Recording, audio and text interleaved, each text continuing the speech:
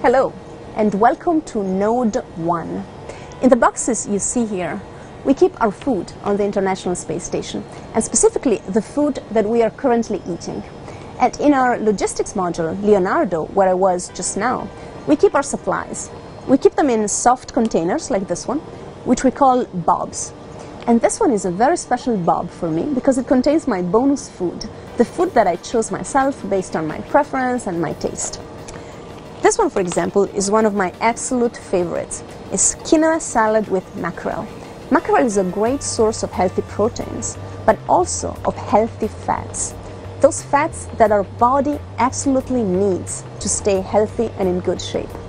On board, we have different kinds of fish, which are great sources of healthy fat. For example, thanks to our Russian colleagues, we have sturgeon. In my bonus food, I also took um, sources of healthy fats that I can eat for a snack. I love avocado, for example, so I took it in form of guacamole that I can spread on my bread. Or I also love dry fruit, so I have almonds and nuts. And I didn't forget to take olive oil.